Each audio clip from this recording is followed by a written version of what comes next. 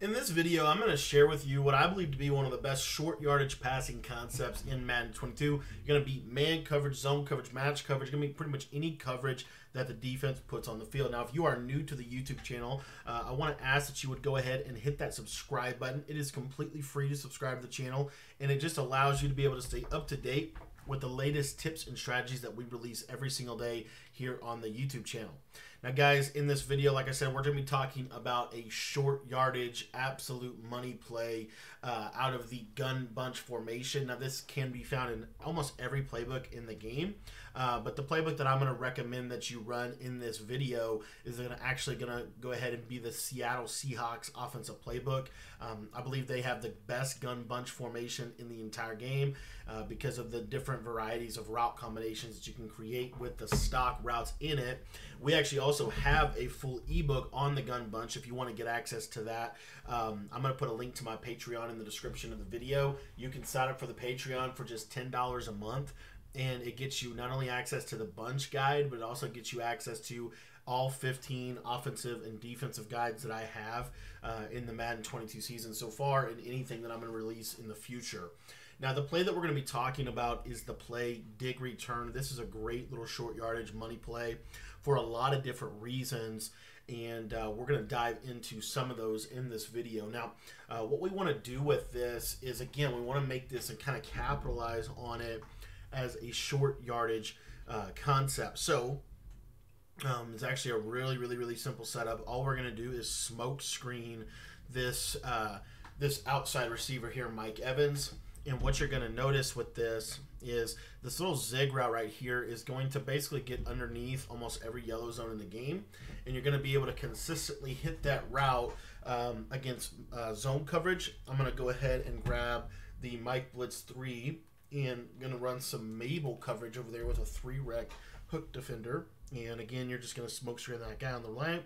And what you're going to notice here is the zig is just going to get open in this pocket for – four to five, and then typically what you can do with this is you can actually go ahead and run after catch for you know a ton of yardage. So very very effective little underneath passing concept.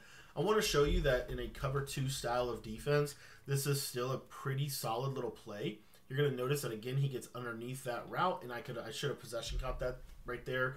Um, but he gets underneath the cover two, and then I'm going to go to man coverage here in just a second. But again, I just want to show uh, how good this the see how that in route just pulls the yellow again I got a possession catch it you don't want to RAC catch it but um, the the in route just absolutely will pull the yellow zone back and what you'll see is when he kind of zigs the outside you can do that little dive catch just like that and again it's just a great little short yardage concept. Now this can actually turn into much more than just a short yardage concept it actually turn into a five uh, a five out play and the way we're going to do that is just by streaking the running back. Now, I've talked about how important I think that that running back streak is, and you're going to notice that um, you're going to see that that smoke screen is going to pull almost every zone in the game outside, and I'm going to be able to throw that smoke screen open um, against that situation. What this is also going to do for your offense is it's going to put their user in a position where you know they have to either you know make a decision. And again, you could also do this with a wheel route. You don't have to use a a streak. You could also use this wheel and have this little smoke screen, you know, have that kind of as a backside concept. Now, the beauty of the whip route is it not only beats cover three, cover four, cover two, but it also beats uh, cover one robber, which is one of the most popular defenses uh, right now. So I'm to go ahead and press my coverage.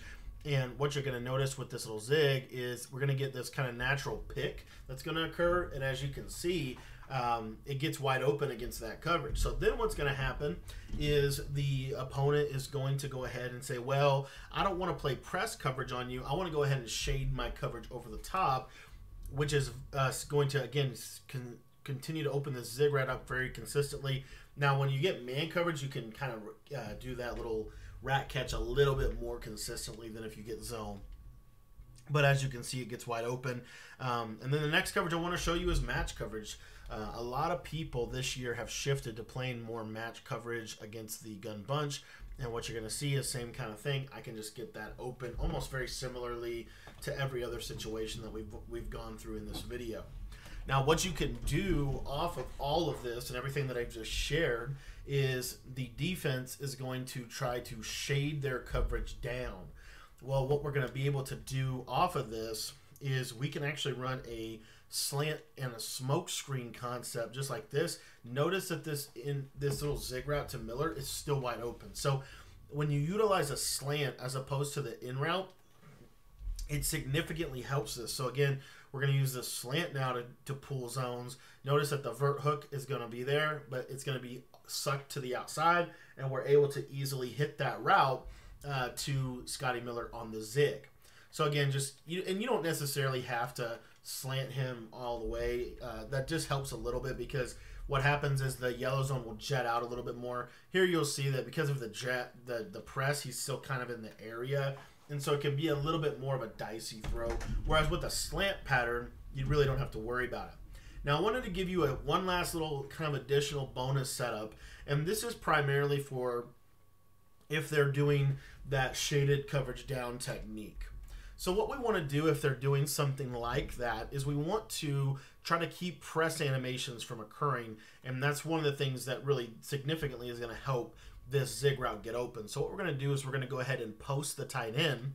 We're going to flat Chris Godwin, and then we're going to smoke screen Mike Evans. And what you're going to see now is this yellow zone can't get underneath it. It's still going to get pulled back. And that was shaded down uh, vert hook and was not able to cover that. You could t- test me on that out of three recs and hook curls as well. But it's just another layer at which we can kind of add to um, this concept. There's no jam, so I can throw that before it gets to the yellow zone. Even if they have a five yard vert hook, for example, you're still going to have a lot of. Um, it's really not going to be a great option uh, for them to stop this. So again, you could do that. One last little thing I wanted to say is if you want to block your tight end for a little bit of extra protection, one of the things that I really like to do with this is you can kind of run it like this on honestly, and then you can take this backside guy and put him on some type of slant, or if you wanted to do a flipped crosser, um, you know, then what happens is now you've got a lot of protection, and then you see how the zones are just getting sucked down and you're going to throw that slant on the sideline. So there's a there's a lot of ways that you can build around this concept, but I just absolutely love the way this little concept works. If you get really good at throwing that zig, it's very difficult to defend. And then what's also really cool is that you can kind of package that with a backside slant um, and smoke screen or even using the in route. And what you'll notice is you oftentimes will catch that on the sideline. So, like, let's say their user says, well, we want to try to take away the zig. So they're going to kind of sit on it a little bit. Well, then what you could easily do is, I mean, you could even do like a ghost route to the running back um, because it's a short yardage concept.